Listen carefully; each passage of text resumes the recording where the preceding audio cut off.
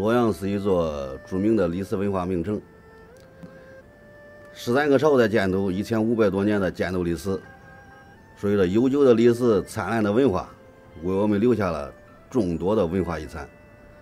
龙门石窟就是其中最重要的一座。龙门石窟位洛阳市南，它这个山清水秀，景色宜人。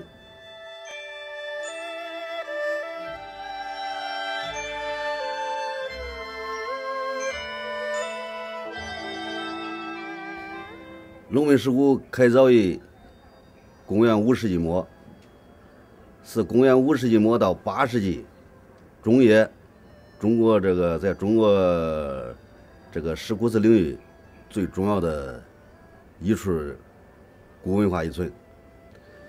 龙门石窟的特点归纳起来有几个：第一，规模大，数量多，东西两山绵延一公里。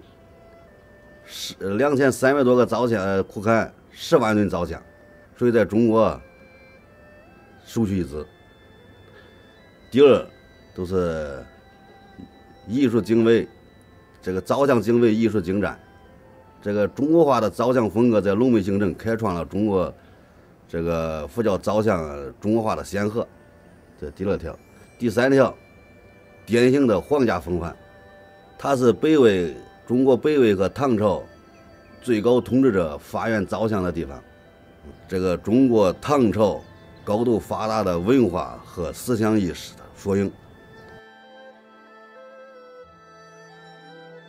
龙门石窟开凿一千五百多年来，受自然和人为因素的影响，这个崩塌、漏水、风化，成了危害龙门石窟的一个三种病害。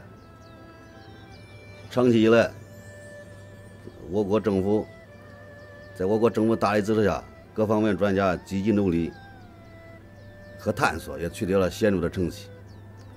但现在这个漏水风化问题依然存在，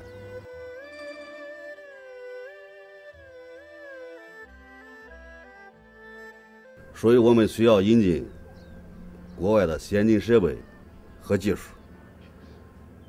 这是一条意思。第二条，意大利在世界文化遗产保护方面有着先进的设备和技术，而且积累了丰富的经验。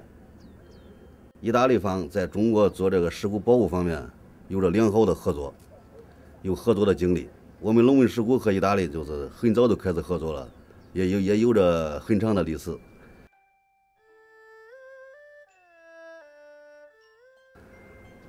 二零零四年，中医文物保护培训班在龙门双窑搞文物保护项目，对文物进行清洗、封护和封斗排水，也取得了这个显著的成绩。我们从中啊，一学到了技术，二学到了文物保护的先进理念，这对我们这对我们这个积极申报意大利贷款，都提供了良好的基础和条件。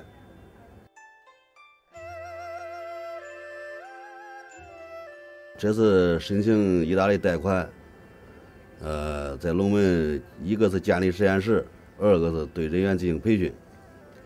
建立龙门保护实验室，主要包括化学实验室、力学实验室和修复实验室、环境监测设备及信息管理系统。通过这些设备的引进。会大大提高龙门对这个文物保护呃文物保护的技术力量，这是一项。第二项就是对人员进行培训。培训一方面是这个中医双方专家到龙门石窟进行现场培训，实地这叫实地操作；另一方面，龙门石窟保护人员到意大利进行培训，学习意大利方面的。这个。技术和保护理念。